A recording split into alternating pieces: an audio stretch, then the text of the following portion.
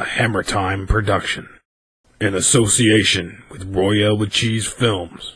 Here comes the biggest asshole after the whole world's ever seen.